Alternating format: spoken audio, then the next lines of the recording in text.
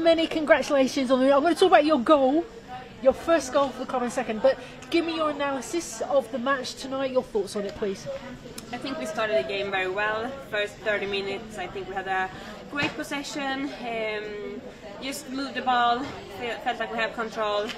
Uh, nice to score a goal pretty early, um, and then it's a good team we're playing against. They're trying to to play the ball, and we get some trouble in the especially second half. So, I mean, 3-1 is a good result. You talk about uh, Brighton; they're a good team. I noticed in the first 10-15 minutes you managed to keep them pinned in and then the game started to flow more. But in the second half, they were starting to take chances more.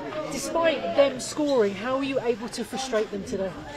I think we, I mean, we have a great team, great players. Uh, I feel like even though they're trying to play out, I feel like um, it doesn't get that dangerous. Um, I think I don't know how many balls our centre backs is heading away today. So um, yeah, I feel like we have control, which is a really good feeling. And then uh, of course we scored three goals. So. And one of those three goals was yours, the winning goal at the end. Describe the goal and also the feeling scoring for a club that you joined in the summer. Yeah, first of all, such an amazing feeling. Uh, I have waited a long time for this goal, so really happy for that, of course. And um, yeah, I think Guro played the ball um, to Sam, um, and I was just running in the box, talking about that before. And then, yeah, many thanks to, to Sam to, to play the ball really unselfish, and uh, yeah, really uh, happy for that. I mentioned that you joined the club in the summer. How has it been for you the last few months, getting to know England, getting to know your teammates and the club as well? Uh, it's a lot to take in, of course. Uh, you sometimes you don't have that uh, much patience as a player, but here it's really important to have that and let it take that time it needs. Um, I feel like I'm coming great in this group of players and uh, this team. Uh, and I feel like I develop all the time, and I'm yeah trying to work hard, and yeah, of course, um, very happy to be here. So yeah. Play the match, Jelena. Congratulations on the win. What is your assessment over the 90 minutes, please? Yeah, it was uh, it was a good uh, good game from us after the the weekend, and uh, it was a great response from the team. So I think from the start we we showed that we want to win, especially in the first 30 minutes. We were we were just uh, yeah respecting the game plan and we were we were uh, working hard and uh, creating chances. So I think it was just a great response from the team. You mentioned the response. What was the response that Emma Hayes wanted to see today, and did you deliver on that for her?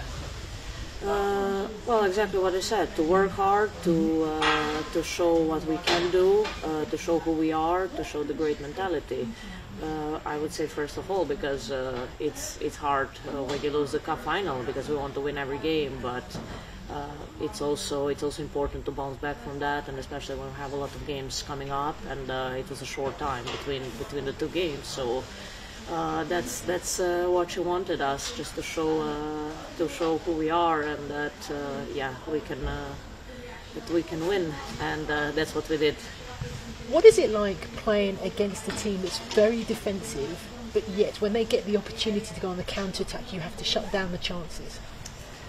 We need to be uh, we need to be focused in that uh, in these games because I think we have uh, much more ball, but they are dangerous on con- counter attacks. So uh, the focus is the most important, uh, but also to be clinical.